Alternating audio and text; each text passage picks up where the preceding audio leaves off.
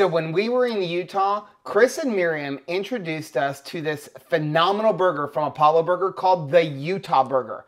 And one of the ingredients was gyro meat or Euro meat, as some people call it. Problem is, a lot of the store-bought gyro meat, it has weed in it. So Joe said to me, we either gotta figure this out or we're gonna have to move to Utah. Yeah, so today we're gonna make our own gyro meat.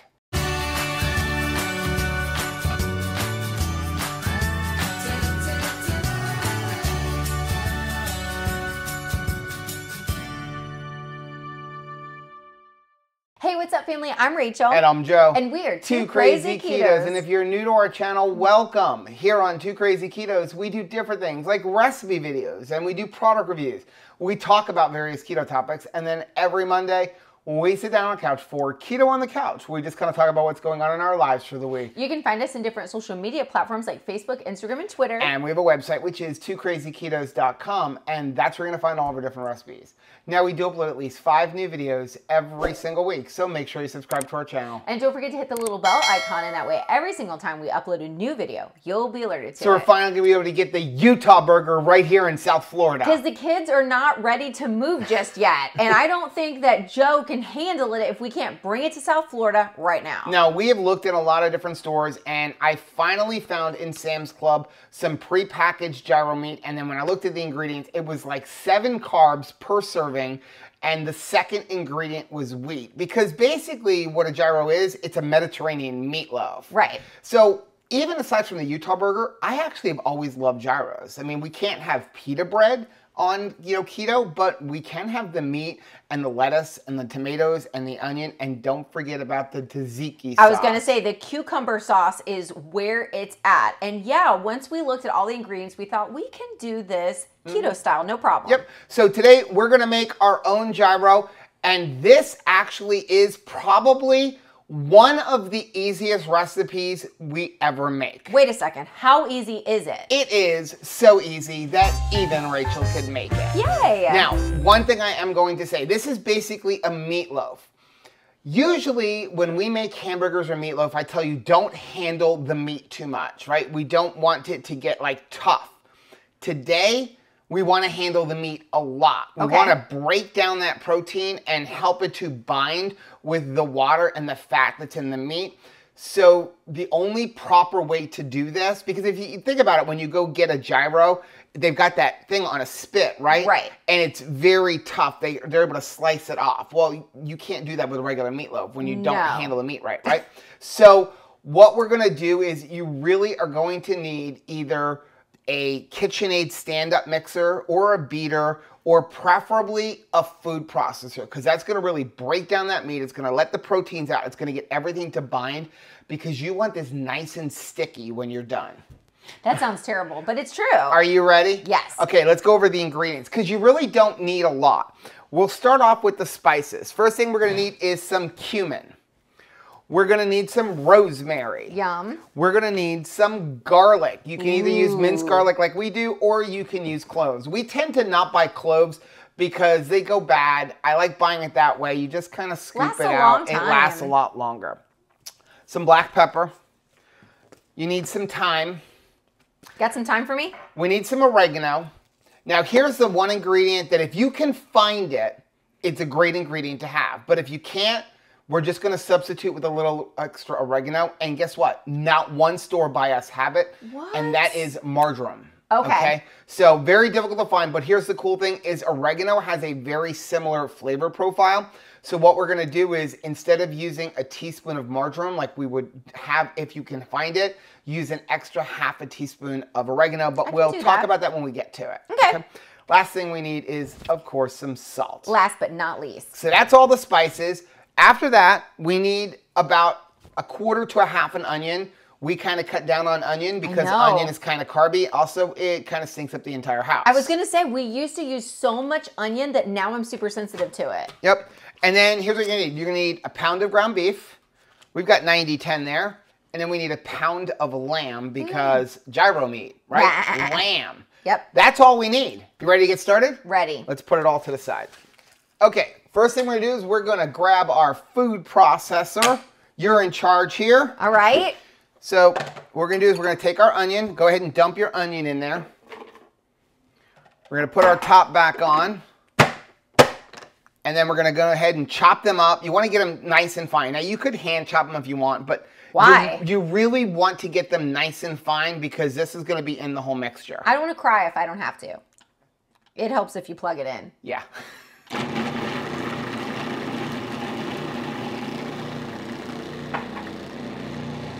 Okay, you're good. Now, if you want to, but this is kind of like an optional step, I'm finding you don't really need to do this. You could take them out and squeeze them through like some paper towels to get any moisture out of there. But because I'm only using about a quarter of a cup of onion or a quarter of an onion, there's not a whole lot of moisture in there. But if you're gonna use a lot of onion, like an entire onion, I highly advise take it out, put it in some like paper towels and squeeze some of that extra moisture out because it's gonna help it bind better because we aren't using any breadcrumbs or wheat or anything like that as a binding agent. Okay, to that, we're going to add our spices. And this is very simple. First, we're gonna start off with the garlic. You're looking at like three to five cloves of garlic or a tablespoon of the minced garlic. So that's what we're using, one tablespoon of the minced garlic. After that, very simple, a teaspoon of everything. Okay. So we're gonna start off with a teaspoon of oregano. Now, again, we don't have any marjoram, so I have one and a half teaspoons in there. So if you have marjoram, it's a teaspoon of oregano and a teaspoon of marjoram. If you don't, one and a half teaspoons of oregano. We've got a teaspoon of cumin, a teaspoon of rosemary, a teaspoon of black pepper, a teaspoon of thyme, a teaspoon of salt. Ooh. That's Yum. all of our spices. Make, make sure I get all the salt. To that, we're going to add, of course, we've got like the knife that doesn't cut anything. Right, a butter knife that looks like a steak knife. Right. Anybody have those? Okay, so we got one pound of ground lamb.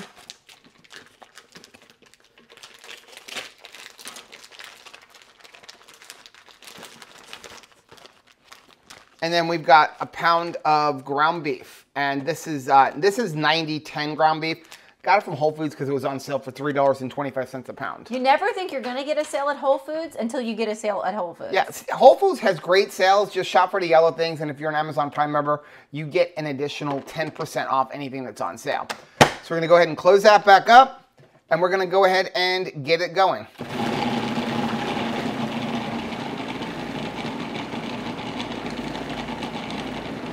Okay, so what you're probably gonna have to do, depending on your food processor, is come back in, use a little spatula, and kind of push it around because you really, you can see how it's starting to get, we'll go ahead and put this directly under the center camera.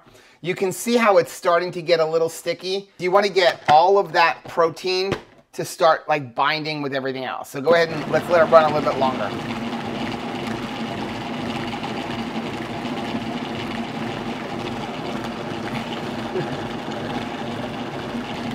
I think that's good. Okay, so now we'll get in. We're gonna just take this, we'll push this off to the side. Now, again, you can look at this and you can see how sticky it is. See how it's like, it's like, it's like gross. a slime, right? Yes, Yeah. it's it's very gross because you got all the fat in there. Mix until disgusting. That's the policy. And again, normally you wouldn't want to do this because it would toughen up the meat, but here you want to toughen it up a little bit. So now what we're gonna do is we're gonna take a meatloaf pan. This is my favorite meatloaf pan. Rachel bought this for me on QVC. I'm gonna leave a link for it down below. This is the Rachael Ray meatloaf pan, and what's cool about it is it's got this little tray in here. Hello. So when you're done, you can simply lift it up, and it, it first of all gets the meatloaf right out. But if you were trying to get rid of extra grease or water, it leaves it in here. Left so in there. super easy to clean.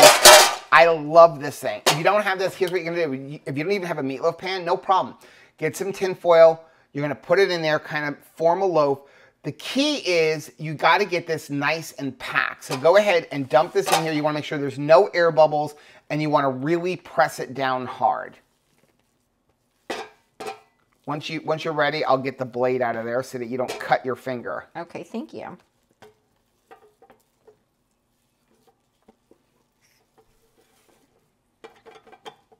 Here, I'll hold this.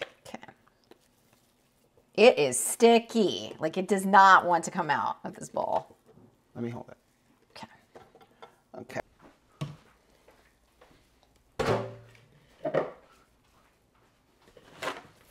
So now take your spatula and what you want to do is kind of spread this around and press down. You want to get it really pressed down hard. Press down, shaken together, but not rolling over. Not rolling over. So you want to get all of the air bubbles out. Ugh. Ugh. Ugh. The noise makes it really helpful. like you have to have the noises.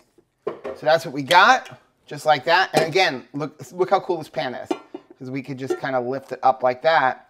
And you can see, oh look, no air bubbles in there. That's crazy. okay, I actually did see one little air bubble, so we're gonna just give it a little press on that side. You didn't do the noises. Do the noise. It makes it helpful. Oh, Yeah, okay. One more with the noise. Ugh, There you go. ugh, Yep. okay, Yep. That's cooking. are you good? That's what it sounds like.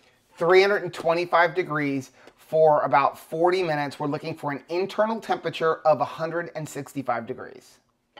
Okay, magic of television. We already have one made. Made Right. it this morning. So basically, you have a meatloaf, right? It's a Greek meatloaf. It's lamb and beef. Who can complain about that? And best part is, this is pretty much one to one. So if you eat a quarter of this, so basically you're gonna eat a half a pound of meat, Hello. you're looking at only about 500 calories and it's like 40 grams of protein, 40 grams of fat. So absolutely perfect. Here's what we're gonna do. You gotta slice it. Why? Because gyro meat should be sliced thin. It should. Right? So we're gonna go ahead and take this here. We're gonna go ahead and slice this up. Don't worry, my hands are clean. I checked. Make Look sure. at that. That is beautiful.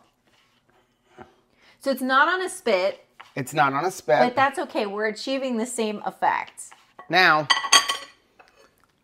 we're gonna go ahead and do a taste test here.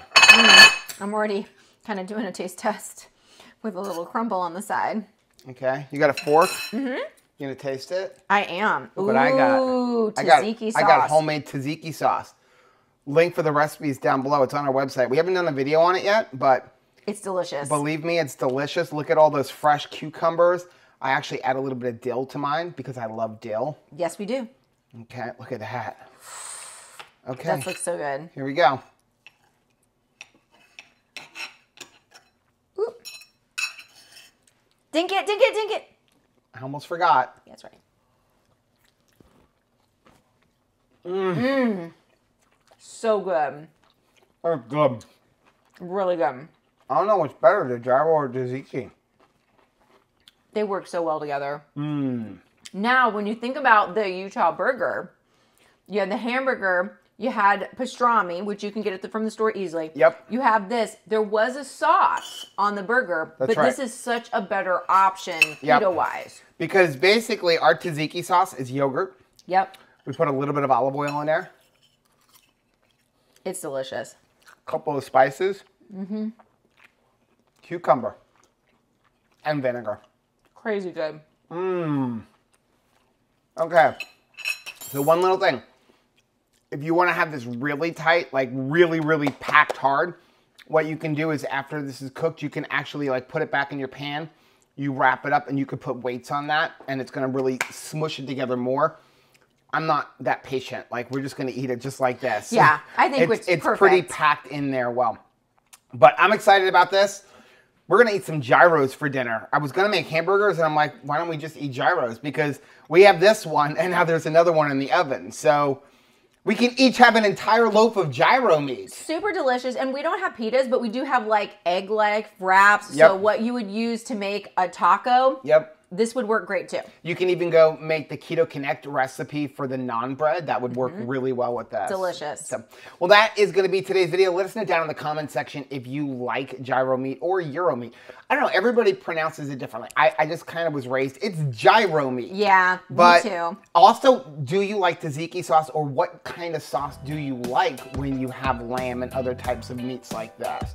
And if you like seeing videos like this, check out some of the other videos that we have linked right over here. Also, make sure you take a look at our most recent video, which I'm gonna put right over there. But whether you head this way or you head this way, don't forget to head this way. Subscribe to our channel and click the little bell icon, and that way, every single time we have a new recipe, you'll be alerted to it. Until next time, Bye. bye.